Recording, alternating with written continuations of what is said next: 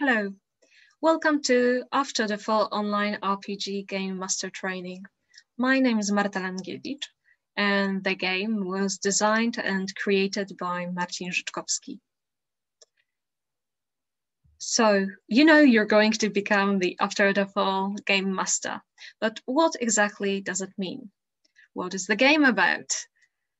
What will you have to do and learn to be able to run the game? This webinar is going to help you to figure things out. So first of all, After the Fall Online RPG is actually a mix of a traditional narrative RPG game and a board game. It is meant to be play, played online and it needs two people to be run. One of them is the facilitator.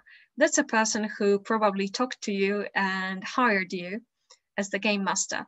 The facilitator is the one who gets your participants, your players, uh, gathers them, recruits them, and who's responsible for sending all the materials both to the participants and you, the game master, and also who's going to go through the debriefing phase of the game so the part that takes part after the actual gameplay, and also who's going to decide together with you on the narrative paths you're going to take during your gameplay. You, on the other hand, as the game master, are responsible for running the game, for telling the story to your players, for immersing them in the world, for keeping the game suspenseful and keeping their emotions high, for making it challenging for them, for making it interesting for the players. So you should be able to improvise very well.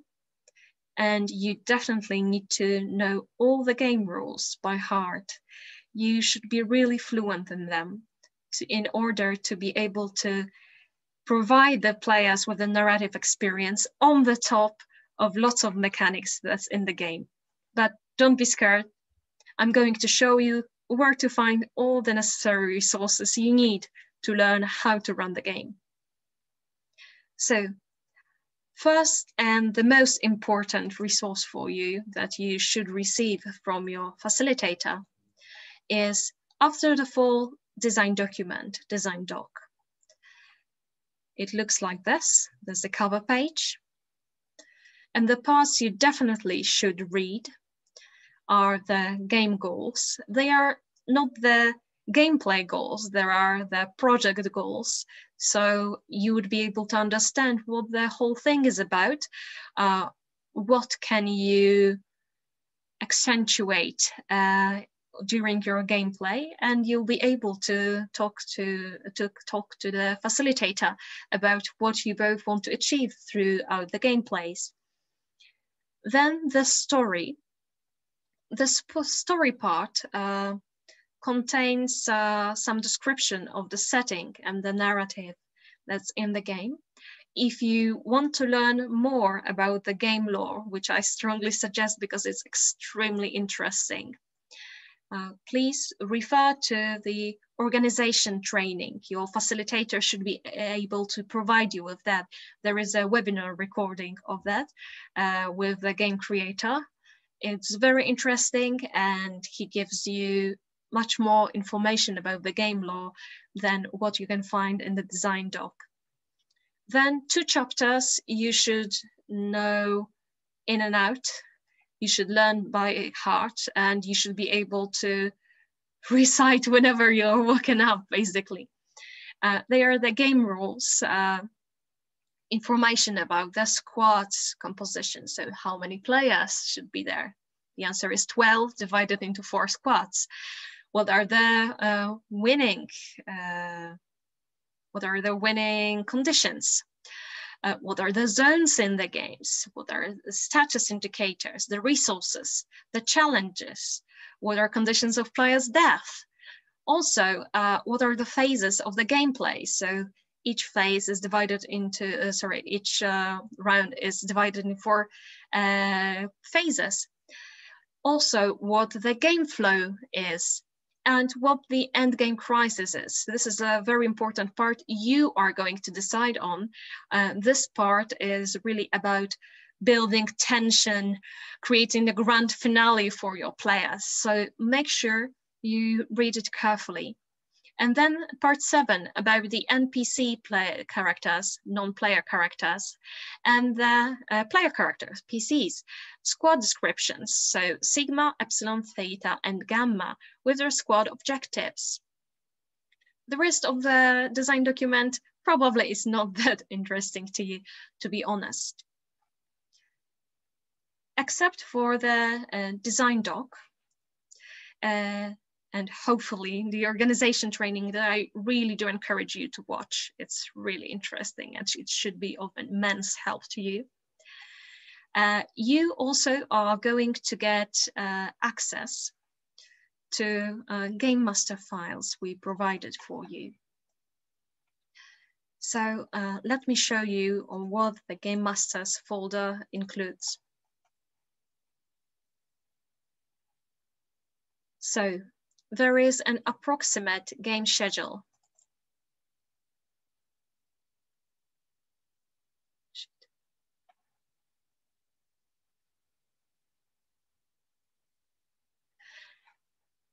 And the game takes around four hours of the actual gameplay plus five minutes more or less, probably slightly more, uh, of the narrative briefing the rounds. It lasts for 10 rounds at most. And the narrative finale. There are some breaks included in the gameplay, but please make sure that you have enough time and you're aware of how much time it takes to play a game. Uh, also, you as a game master are responsible for timing the game. So if your players take too much time thinking about something or uh, doing something, doing some action, please make sure to push them slightly so they hurry up with the decisions or whatever they are making. Next, we have the list of endgame crises. So as I said, as the grand finale, uh, around, uh, around round five and up, you should uh, show the players uh, one of the grand endgame crises. So there are different rules for them to overcome the crisis.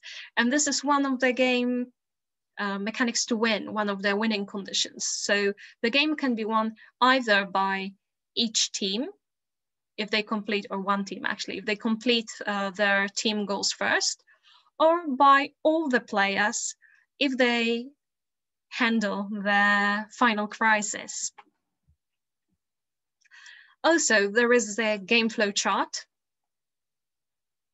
So you can follow it clearly. We've got the narrative briefing, three rounds. So that's a time for your players to warm up to the world and for you to show them the world, to explain it to them step by step, of course, by narration, not just putting it bluntly. Then there is a narrative interlude and the break, because four hours is pretty long time, especially in front of the computer. Another part, there's the second act, right? The first act, the second act, and then another narrative interlude and the break, the end, the last three rounds, and then the narrative finale, the grand finale. It needs to be really splendid. And then they move to the summary and debriefing, which probably won't be a responsibility since the facilitator is supposed to take, uh, take care of it. You also get a round flow chart. So each round is divided into four phases, as I mentioned before when we were scrolling uh, through the uh, design document. So you've got information on what's happening in each of the phases. We've got the planning phase, discussion phase, decision phase, resolution phase. So this is a cheat sheet for you to make it easier then there is a game board and game tokens and all the graphics set basically. So if in any case you don't want to use the tools we suggest you to use, or you want to play it with your players as a game, like board game, traditional board game, tabletop board game, you can just print these materials or you can put them in any system you want. It doesn't have to be Roll20. So that's why we provide you with, the, with those graphics. Then there are video sets. So as I mentioned before, there are three non-player characters in the game and each one of them has their own storyline that puts emphasis on a different angle of the story told by you. So uh, as you decide with your facilitator whose story you want to tell, uh, you are going to show your players their videos. Uh, so we've got three characters. There is Vanessa, there is Dr. Goran, and there is Andrusov. As I said, each one of them shows a slightly different story uh, and talks about different problems. And these are video series. So there are around seven to 12 short videos in there. So to make it easier for you and uh, not to force you to watch each video a few times so you you would take notes and remember what is in which video we also provide you with video transcripts so these are basically documents that say what each character said in each video. And last but not least, uh, there are mechanical descriptions of the zones for you. So these descriptions, uh, the written ones, are actually uh, pasted in the Roll20 in the map. I'm going to show you where later on. But uh, first, let's take a look at the map of all the zones with indicated challenges. So uh, in the design doc, you can read about challenges. So whenever your players enter a room, they are going to face one of five challenges. And you as the game master need to hint to your players beforehand what they can see there. So they know how to prepare for the challenge and use proper action against it. If they fail to guess the challenge, they are going to lose resources. If they guess correctly, they just pay few resources for that. So here's a cheat sheet for you that shows you that, for example, in this coral zone, uh, there are testimonies of horror, right? And here, oh, that's a locked zone. It's impossible to enter uh, without taking a proper action this way is shut, so you need to excavate through it, and so on. Now let's take a look at the descriptions.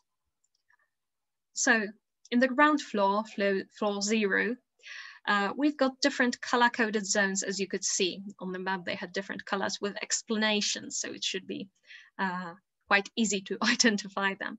So for example, white. So for example, white, as you can see, the challenge here is deep storage and the resources players, uh, if they guess correctly that uh, the challenge is deep storage, they will have to mm, pay in oxygen and health points.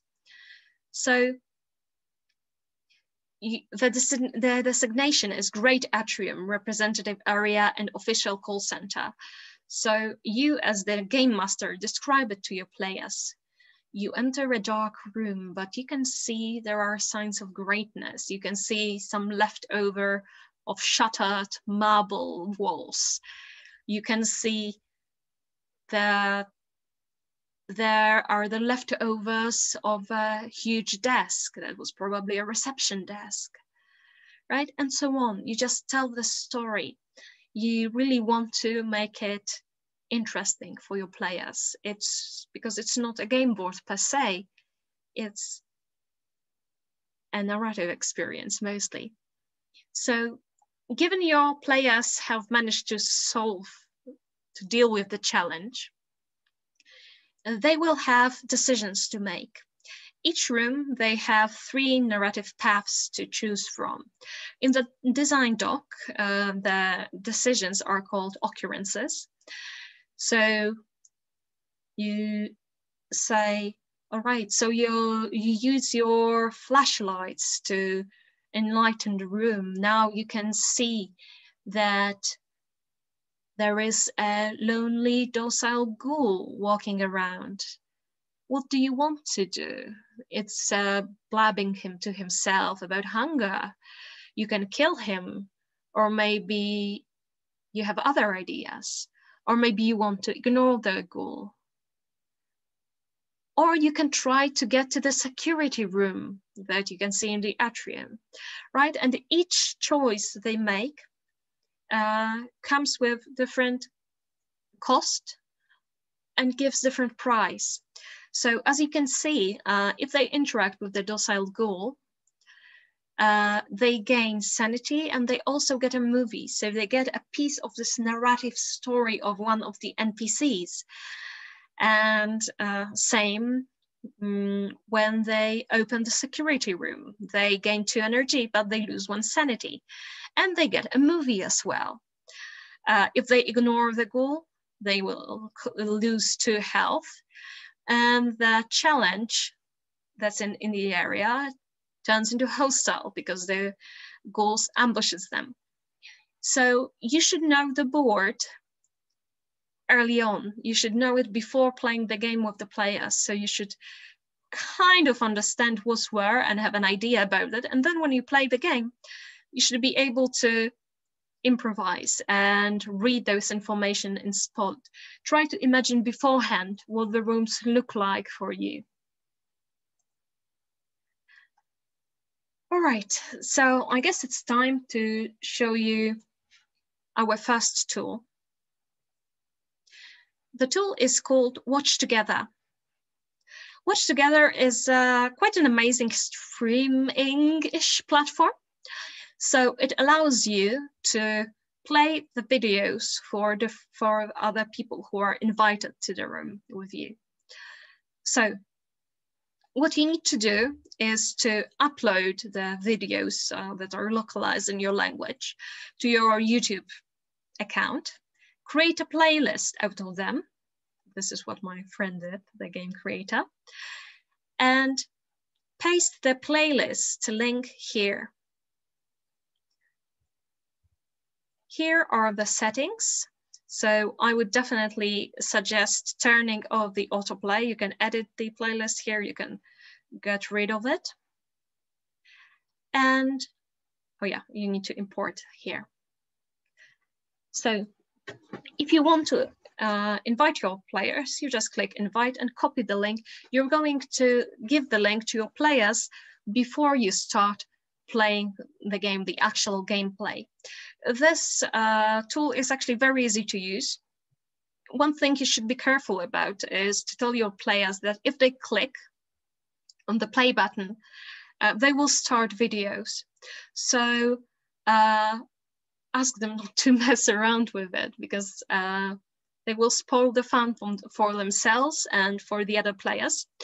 Uh, another good hint is uh, to put a blank video, just a black screen with silence uh, on the top of the list. So if there is someone who's like, oh, I'm going to try it, they are not going to see or hear anything. This is like, you know, a pro, pro tip. Uh, so that's basically it for the Watch Together. It's a really simple tool, really, and uh, it's free. Another uh, very important tool for us is going to be Discord. So uh, let me show you how it works. I'm pretty sure you already know it. So here you can see my uh, After the Fall uh, channel. So you're going to need a text channel for like the simple communication purposes and for being able to solve potential technical problems. Uh, your facilitator is probably going to uh, be active on the text channel to help your players, your participants, and you with, with possible technical difficulties. And there are five voice channels, open channel, and each team has their own channel. So there's Sigma, Epsilon, Theta, and Gamma channels. Same names, same name as team names. Uh, to add channels, you need to click here and just create channels. You choose if it's text channel or voice channel. Please refer to uh, our guide on how to use Discord. The final tool we're going to use is Roll20. So let me show you how it look, what it looks like and how it works. This is probably the most uh, complicated tool we're using, but uh, don't worry. I'm sure you're going to get a hang on it really soon. So uh, you will be able to copy our map uh, if you want it. Uh, or you can place the elements uh, and create the map on your own. It only depends on your preferences. so please take a look. Sorry. so here is the game master mat. Here you got information, and the tokens of the challenges, the visited room, tokens, re additional resources you can give to your teams. Uh, here are the teams mats, so with the tokens, with their actions and with their resources for each team different. As you can see, sorry, uh, as you can see, each team um, has a little symbol of their team on their tokens uh, or on their action tokens. So you will be able to ma mark what they actually want to do. Uh, these tokens are used to show where your uh, teams are at the moment. So for example, let's say Gamma Squad is over here and Sigma Squad is over here they decided to excavate and they decided to ransack, right? So it's really easy to use. Whenever you need to get rid of some resources, you can just delete them. So for example, they lost uh, a point of health and sanity. Uh, important thing for you to know uh, is that when you double left click on any area, any zone. In the section GM notes, you can see the same list, the same table I showed you before with the information of what's in each room. So Lime Zone, Testimonies of Horror, you know you should put it there when they enter the room. It will cause them sanity and oxygen if they guess correctly. And you have uh, information what to talk about, how, what to describe and what are the uh, options, uh, the occurrences, their narrative choices. Uh, also, another important thing to point out is uh, that you have teams here, right? So when you click on the teams, in the uh, tab bio and info, they get basically a, a team character sheet, let's call it, uh, so what's important here?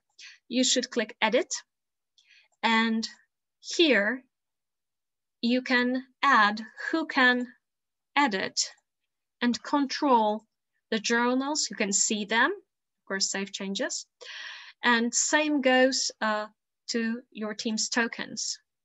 So when you click on them, uh, you can uh, add who's going to control them. So for example, Marcin Ż and Marta L are going to control this token. That means not only you as the game master, but also your players from this team are will be able to move the token. You don't have to assign anything to them except for their character sheets. Uh, but if uh, you think it's going to be fun for them and easier for you this way, you can assign the tokens for the players to move.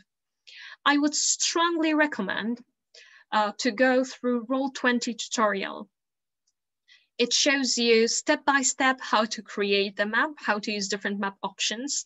And I'm not talking about the after the fall uh, map itself, but a basic, uh, basic uh, Roll20 map. I found it very useful. It is easy to follow and it shows you many options that I'm not going to talk about right now, like using uh, different layers, uh, like GM info overlay and stuff like that. Uh, please note there are some things in here that are hidden from the players. They are in the GM overlay. Uh, so you as a GM have to know how to drag them from there. Um, for example, area, area destroyed is one of the additional rules you can apply uh, in the game for your players.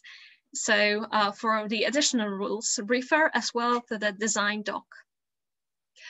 Uh, as far as the uh, options go, uh, what is really important in here uh, is to um, to turn off uh, the video and the uh, voice chat options for your players, or you should ask them to do it actually, because you're going to be talking on Discord all the time, and uh, Discord is much more powerful tool for that goal than uh, Roll20. So that's why, uh, so the voice doesn't echo back and forth, you should ask your players and you should yourself uh, turn off your video and audio chats.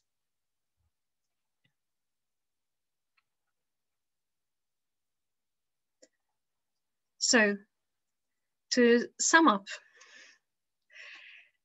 you as the game master are going to lead your players through an immersive narrative board game experience that's goal and educational goal is going to be established together by you and the facilitator.